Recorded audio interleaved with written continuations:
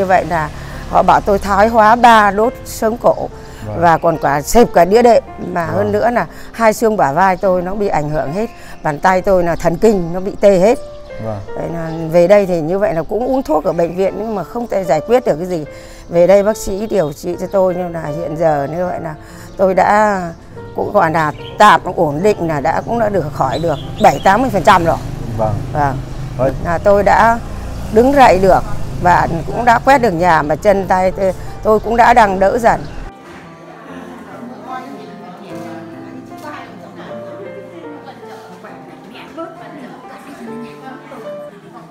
Nhà thuốc đông y gia truyền Bùi Đức Thái, uy tín tận tâm, nâng tầm thương hiệu.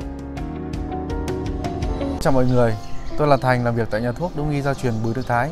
Ngày hôm nay tôi xin phỏng vấn một số bệnh nhân đến khám chữa bệnh tại cơ sở. À, cháu chào bác, bác có thể giới thiệu qua về ờ, bản thân mình không ạ? À, xin giới thiệu với anh là phóng viên là tôi là người của Kim Sơn, Ninh Bình.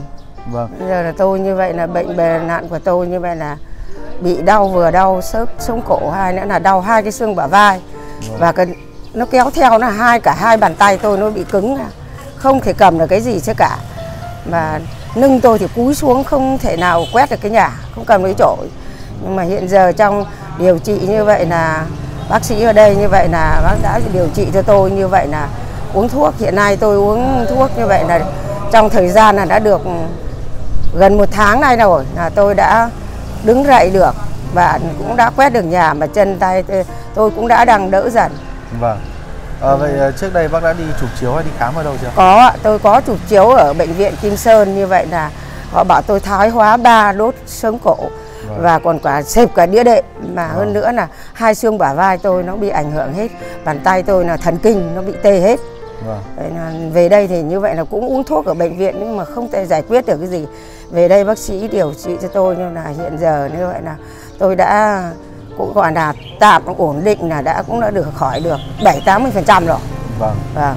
Vậy thì, ờ, chúc bác là uống thuốc nó sẽ khỏi hết. Vâng, bệnh. cảm đó. ơn các anh giúp đỡ Vâng, để chúng tôi như vậy là tin tưởng về bác sĩ.